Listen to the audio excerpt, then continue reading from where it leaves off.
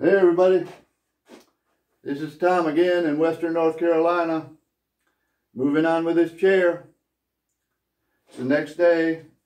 Anyways, we're going to be starting to work on the arms now. And so I'm going to show you some of the first things you need to do or what I do in the next, in the arms.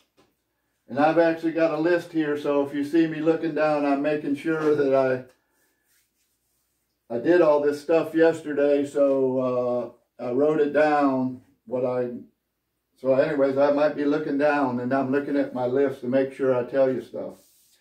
Anyways, the first thing on the list is make sure, you want to make sure that these, the tops of these front posts are in line with each other, you know, this way.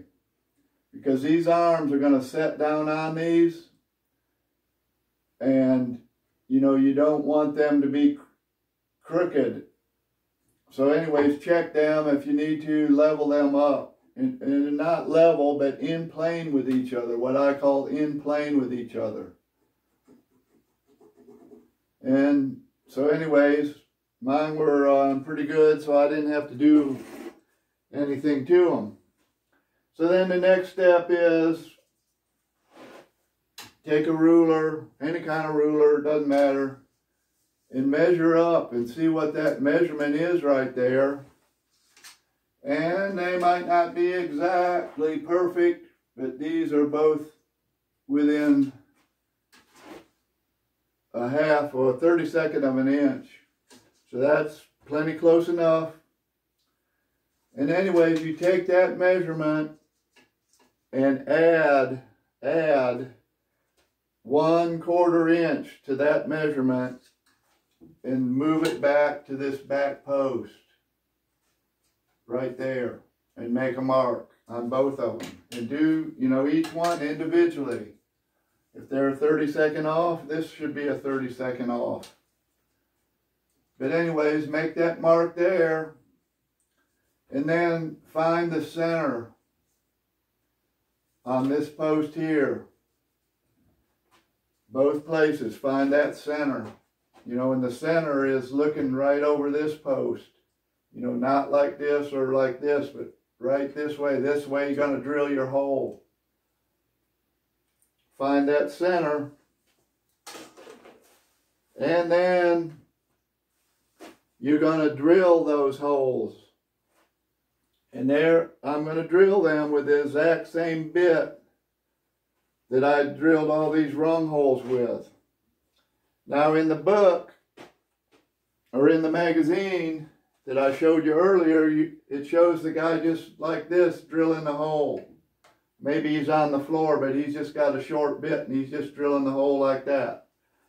Now you can do it like that but you gotta, you've got to really have a steady hand and know your aim and be able to aim good.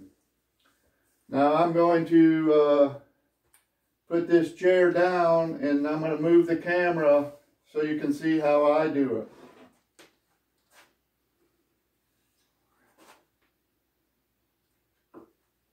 I'm going to move the camera a little bit. Don't be afraid.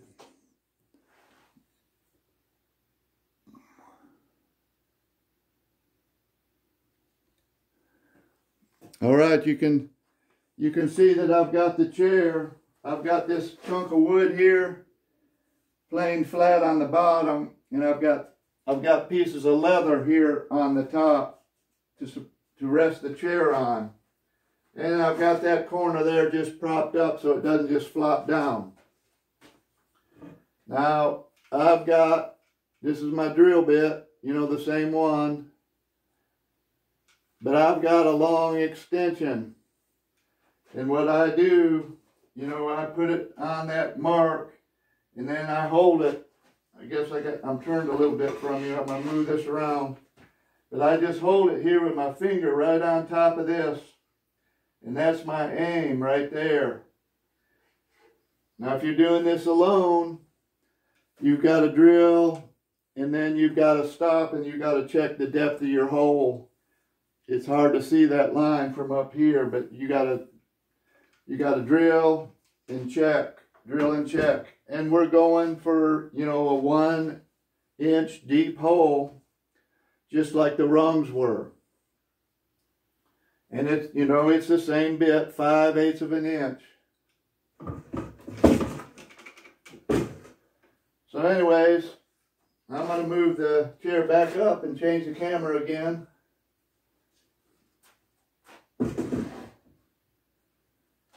Changing the camera again.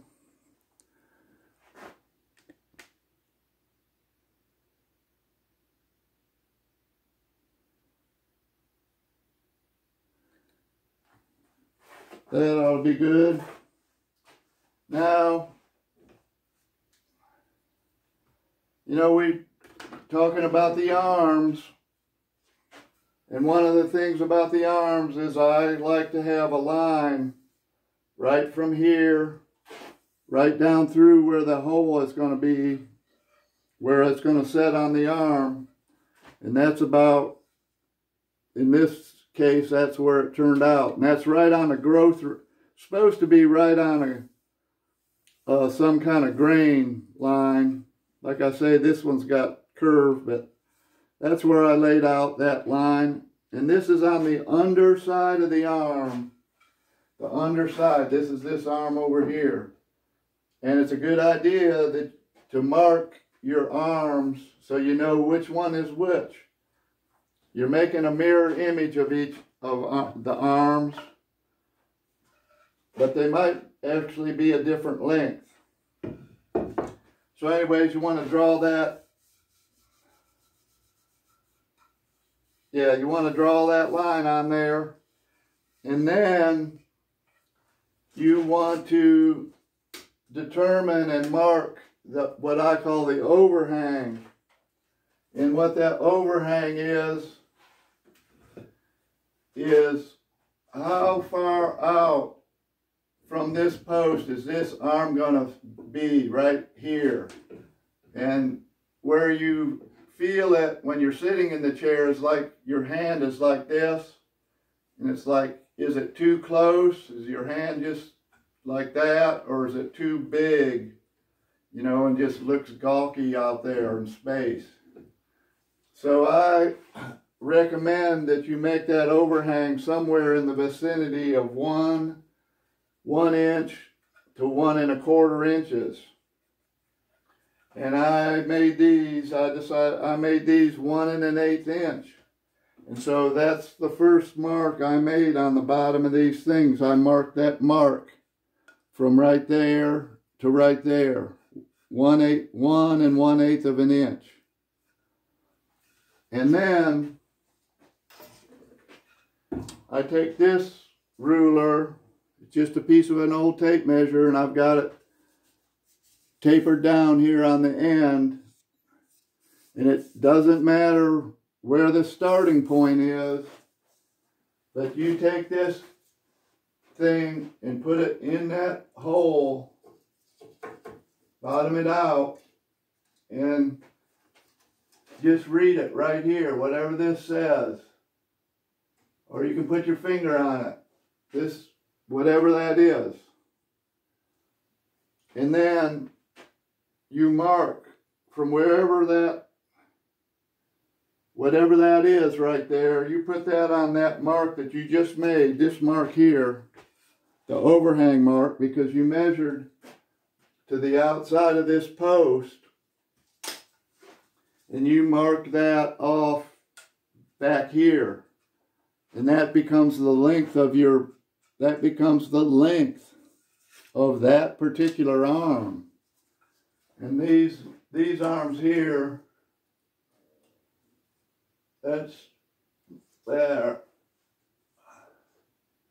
And that's there. They were they were a heavy heavy sixteenth of an inch different. And so it, they should be marked differently. You know, they're it doesn't matter that little bit in this chair is not going to make any difference. So anyways, you mark that and that's your length of your uh, of your arm and then you saw that off this end here, saw it off. And it turned out that these arms were, you know, quite a bit too long on this end.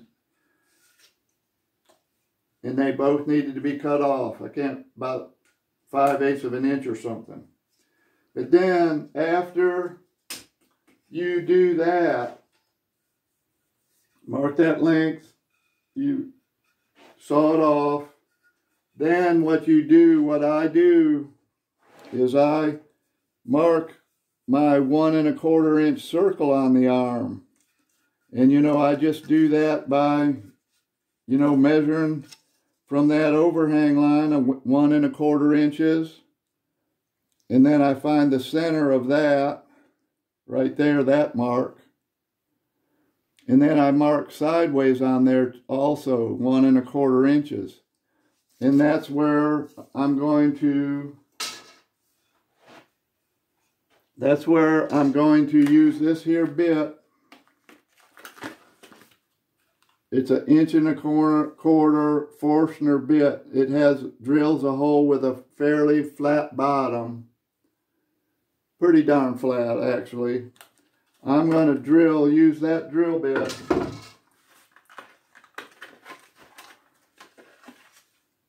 You know, there, there it is. I think you can see that. Anyways, I'm going to use that drill bit in a drill press. Don't need a drill press, but that's what I'm going to use. But I'm going to drill that hole right there. I'm not going to drill the hole. I'm going to I'm going to drill a hole a quarter of an inch deep. Quarter inch deep. And you darn sure want it on the bottom of the arm, not the top on the bottom. I'm going to drill that inch and a quarter.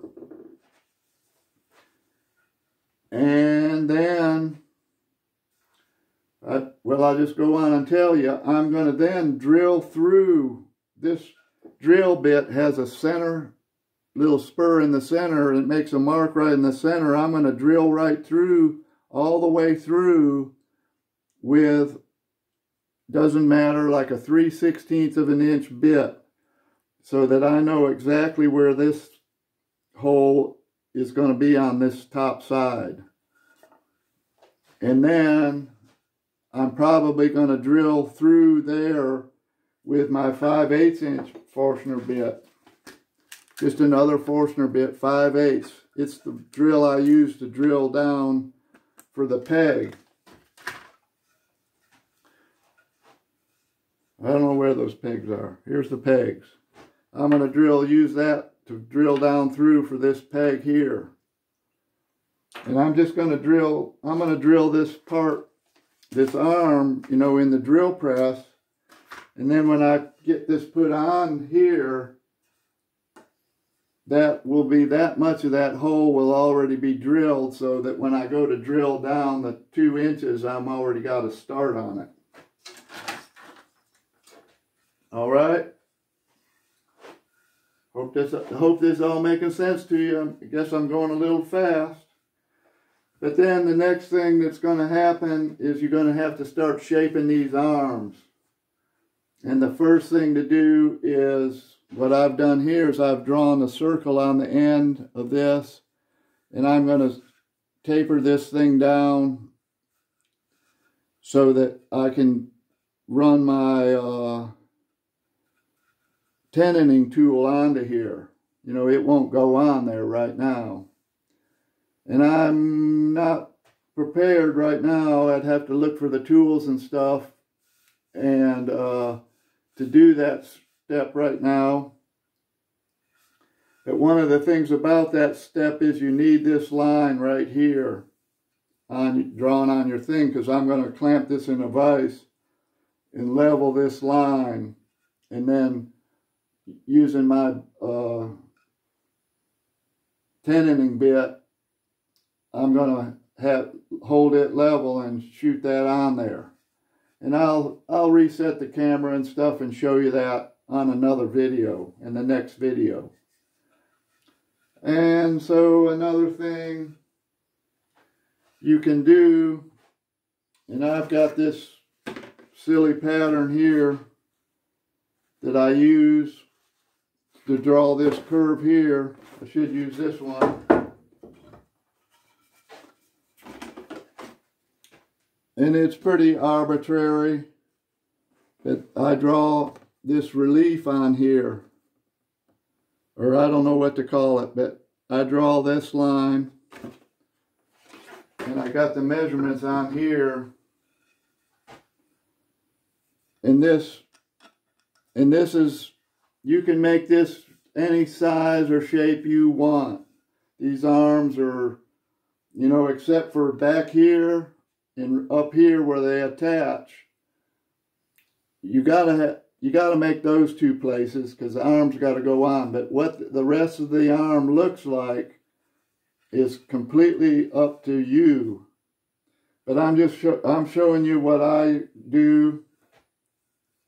In this widest place here, it measures an inch and seven eighths right there. And then I draw a line right here. And that line's about 5 sixteenths, 5 sixteenths up from the bottom.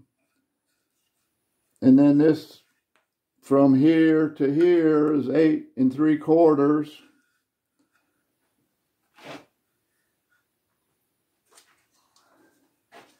And then from this point, from this point right here, it's about four inches right there. But like I say, that's all kind of arbitrary. And that's something like, like when I start in now with my draw knife and spoke shave, whatever I'm going to use to shape this, when I do this part, I might start hacking away on this part and start smoothing up some of these other places. And I'm probably, I'm not going to be able to completely finish the shaping of the arm until I get this tenon on there. But I can, you know, I can start roughing it out, you know, getting, moving towards the final product. So anyways, you know, remember these, these arms are a mirror image of each other. You know, know where the bottom is. And, uh, and I try to you know, I want both the arms to look fairly similar to each other. So anyways, uh, I did all that work yesterday after I made that last video. And I was going to make the video, but I didn't because of other interruptions. But they were all good interruptions. And rained a little bit later in the day yesterday, just a light rain.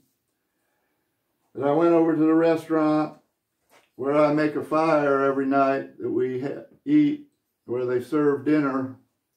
I make a fire over there just about every night just to hang out and for the customers to hang out. So that's better than watching TV.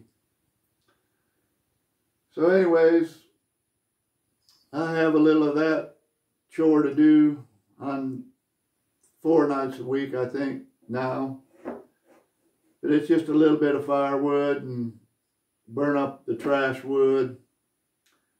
Anyways, uh, that's enough of me just talking.